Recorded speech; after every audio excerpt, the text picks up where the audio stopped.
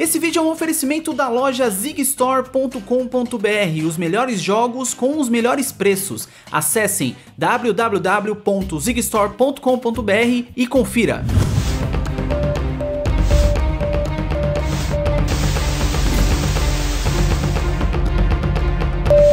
Lomba! Olá pessoas, eu sou o Schwarza e bem-vindos a mais um Polygon Pocket. E hoje é dia de mais uns 5 vídeos absurdos que não se vê todo dia. E atendendo a muitos pedidos, hoje eu separei uma pequena coletânea de vídeos sobre a ditadura militar no Brasil. É importante lembrar o que foi o golpe militar de 64, pois muitos por aí parecem ter se esquecido ou então têm uma visão equivocada do que foi aquilo. E existe gente que até pede a volta da ditadura. Então eu espero que com esse vídeo vocês entendam melhor o que foi esse período sombrio da história brasileira. Podemos dizer que o auge da crise que levou à ditadura militar no Brasil foi a renúncia do presidente Jânio Quadros, em 1961. Seu vice João Goulart assumiu e o seu governo ganhou uma fama de simpatizante dos movimentos de esquerda, pois ele deu abertura a organizações sociais, estudantes, organizações populares e trabalhadores ganharam espaço, o que causou uma preocupação na classe conservadora, que era encabeçadas por empresários, banqueiros, Igreja Católica, militares e a classe média. Todos eles temiam uma guinada do Brasil para o lado socialista. Lembrando que era a década de 60, o mundo vivia na Guerra Fria, então surgiu um medo na classe conservadora, o medo de um golpe comunista no Brasil. Foi nesse momento que os partidos de oposição se organizaram. A União Democrática Nacional, da sigla UDN, e o Partido Social Democrático, da sigla PSD, passaram a acusar Jango de estar planejando um golpe de esquerda e também de ser responsável pela crise econômica que o Brasil enfrentava. Eles organizaram uma manifestação que levou milhares de pessoas às ruas de São Paulo. Ela aconteceu em 19 de março de 1964 e ficou conhecida como a Marcha da Família com Deus pela Liberdade. A partir daí, a crise política e tensões sociais passaram a se intensificar. Foi então que, em 31 de março de 1964, tropas militares de Minas Gerais e de São Paulo saíram às ruas. Com medo de uma guerra civil, Django deixa o país e se refugia no Uruguai, e é nesse momento que os militares tomam poder. E em 9 de abril é decretado o Ato Institucional número 1, que caça o mandato de políticos opositores ao regime militar e tira a estabilidade de funcionários públicos. Nascia aí a ditadura militar no Brasil. Em 15 de abril de 64, o general Castelo Branco é eleito presidente da República pelo Congresso Nacional. E em seu discurso, ele dizia defender a democracia. Porém, ao começar seu governo, ele impôs uma posição autoritária. Estabeleceu eleições indiretas para presidente, dissolveu partidos políticos e cidadãos tiveram seus direitos políticos cancelados. Seu governo ainda criaria uma nova constituição para o país em 67, que confirmava e institucionalizava o regime militar e suas formas de atuação. A ideia era que esse governo militar fosse provisório, mas grupos de conservadores mais radicais conseguiram a permanência dos militares no poder. O próximo presidente da ditadura foi Costa e Silva. Seu governo foi marcado por protestos e manifestações sociais, o que fez a oposição ao regime crescer no país.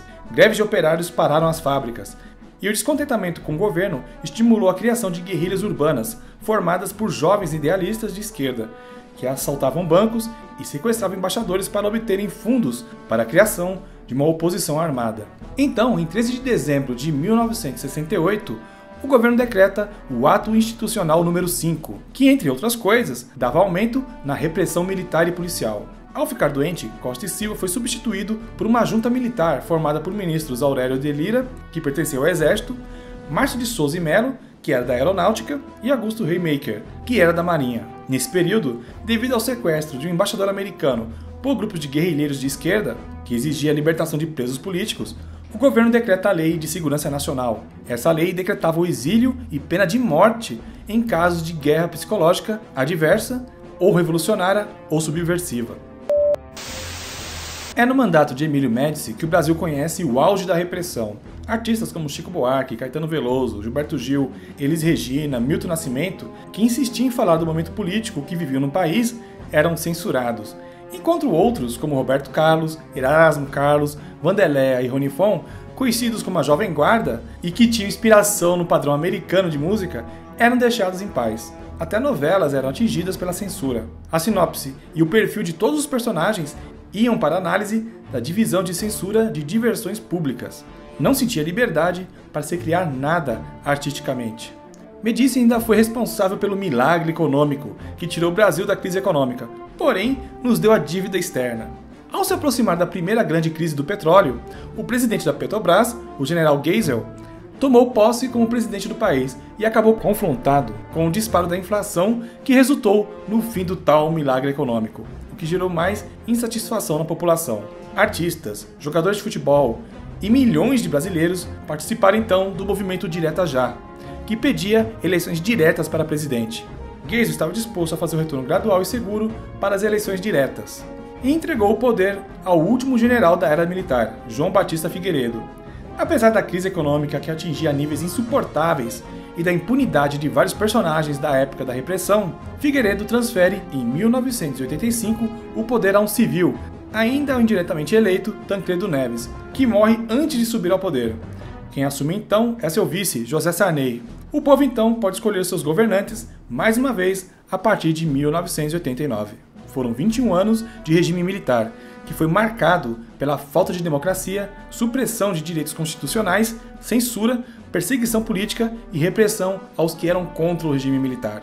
Então você aí que tem saudade da ditadura, saiba que muito que você gosta de assistir aqui no YouTube seria censurado. Saiba que a liberdade que você tem para falar, asneira ou não, lhe seria tirada. Entenda que nenhuma ditadura é boa, seja de direita ou de esquerda. Esse não é o caminho para resolver nada. Aliás, queria que as pessoas parassem de analisar o mundo pelo filtro de esquerda e direita. Fazendo isso, tratamos os problemas de forma simplória. O mundo não é preto e branco, ou melhor, vermelho e azul. Os problemas de um país são muito mais complexos do que uma ideologia pode abranger. Você já segue os Poligonautas nas redes sociais? Temos uma conta no Facebook, você também pode nos seguir no Twitter, no Instagram e para fechar, temos o grupo aberto no Viber. Os links de nossas redes sociais vão estar na descrição. Enfim, esse vídeo vai ficando por aqui. Se você gostou dele, clique no gostei aqui embaixo. E se você gosta de cultura pop, quadrinhos, cinema etc., acesse também o www.poligonautas.com, o site dos Poligonautas que é atualizado toda hora, todo momento e todo instante. Enfim, Poligonautas, vou ficando por aqui. Um grande abraço e hasta!